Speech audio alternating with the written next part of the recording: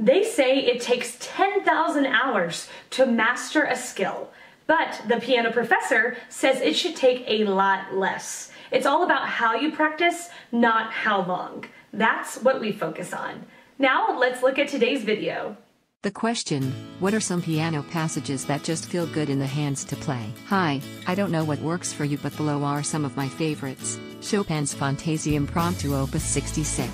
Such a thrill to play 3 against 4 on those exhilarating scallop passages. Love the middle waltz-like part as I try to play the theme a little differently each time when it repeats. Chopin's Grand Valse Brillante. I've heard this playing in many arcades I've been to so love the upbeat energy and flow I get into when playing this. Chopin's Nocturnes Opus 9. Number 1 and 2. Somber but very elegant and nostalgic night music. They keep me calm and their variations in rhythms and certain melody lines captivate me and time passes so fast when I practice them. Chopin Etude Opus 10.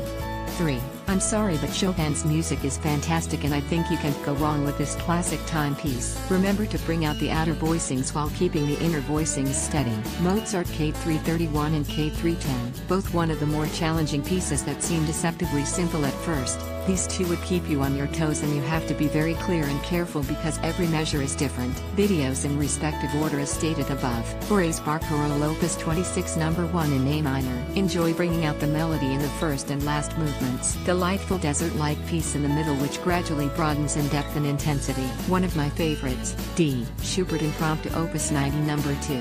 Focus on playing smoothly and playing with a sense of direction as to where the music is headed. There is so much beautiful music out there if you would really just give it a chance and sit down to listen. Real music begins after you finish your foundational music educational. Hope you found something in mind. List that you liked. Learning the piano without spending decades on it is about working smart, not hard.